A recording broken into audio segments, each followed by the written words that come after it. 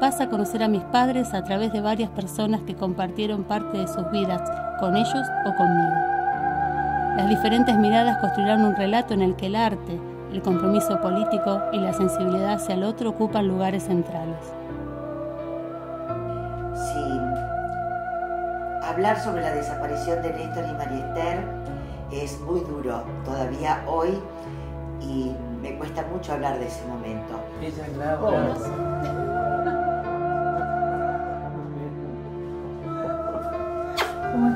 A tu mamá y a tu papá. Militábamos juntos.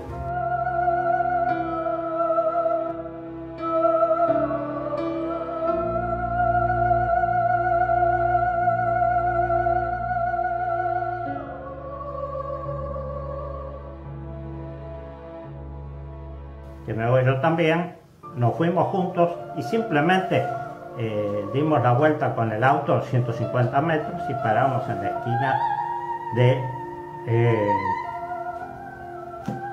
San Luis y, y Castel. Claro. Y es la última vez que la vi. Así que. este, Evidentemente los niños aprenden muchísimo durante su infancia. Y de alguna manera, la vida demostró que lo más valioso que dejan las personas hacia sus hijos trasciende las muertes anticipadas. Después de más de 30 años, el primer testigo que pudo declarar ante la justicia dijo que cuando lo secuestran a Centeno dicen al ejército argentino. El 8 de julio nos secuestran al doctor Fresneda, su esposa, eh, que estaba embarazada de cinco meses, y a mí. Videla lo dice. El gancista era más peligroso que el guerrillero, porque el gancista es el que te mete de la, la idea. Es decir, tenían antecedentes que eh, los hacían objeto de operaciones de inteligencia por parte de los organismos del Estado. El impacto de la muerte de Centeno fue tan grande que impactó en todos los países de América Latina. El peronismo de base era este, una organización, acá, ¿no? Era una organización que venía de un grupo de superficie de ARP, de Acción Revolucionaria Peronista, De Cook, de John William Cook. Donde llegamos a tener peso dentro de la CGT como para llamar a un paro. Y garantizarlo. Sí, sí, un paro en movilizar. toda la ciudad. En una noche, en un día quedamos 14. Anduve dando vueltas hasta que aterricé acá. Y una noche me cayeron.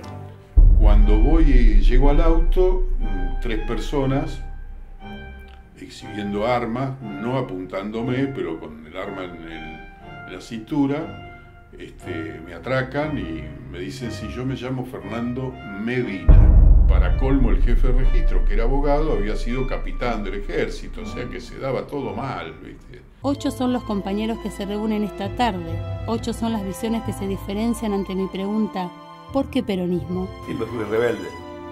Y obviamente, cuando conozco al peronismo base, bueno, me, me quedé ahí. Y como decía hoy, sigo pensando lo mismo. Sigo pensando en la alternativa independiente, sigo pensando que, que la lucha continúa. Eh, todavía no hemos logrado lo, lo que los compañeros aquellos. Yo no sé cuánta gente murió, porque eso se tapó, ¿viste? Pero se cayeron varias casas en el puerto. ¿Cómo se llevaron a tanto? va?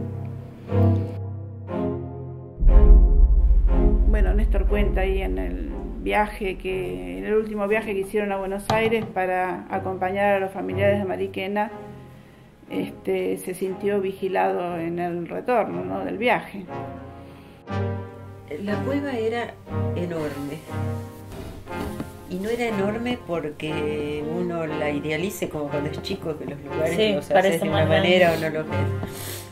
Eh, cuando recién este, estuvo la CONADEP, lo que se hizo, la visitamos. Empezamos por tomar algunos casos, este, eh, digamos, los casos que tuvieran más prueba de participación de las Fuerzas Armadas, porque dijimos, trabajemos ahí, había que demostrar eso. En el 78 o 79 había que demostrar que eran los militares los que hacían la represión, porque como eran secuestros, Pero todo eso estaba, estaba ya pensado.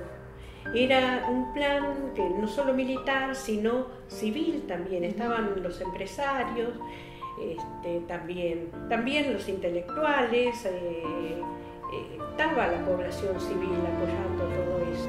Pero el tema es que cuando viene a casa mi mamá en el baño me dice, decirle a Norberto eh,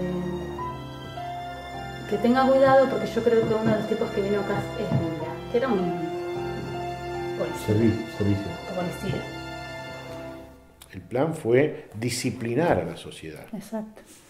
Eh, y, y para disciplinar una sociedad es el miedo y el terror. Con el terror, esto es lo que se hizo. O sea, terrorismo de Estado no solamente es el hecho puntual de una desaparición o un secuestro, es el, El efecto el que efecto que genera. genera en una sociedad de disciplinamiento. Yo he estado en marchas de la resistencia siendo muy chica, esas que duraban todo un día, Ujú. y que uno iba un rato por ahí. Sí. Y éramos tres, cuatro personas. ¿Y cuánto sirvió eso que en ese momento parece como que, Que como una que sos locura, débil? sí. Eh, o en momentos difíciles que ha habido, o cuánto, bueno, por suerte vemos que, que digamos, se sigue avanzando en este, en este sentido.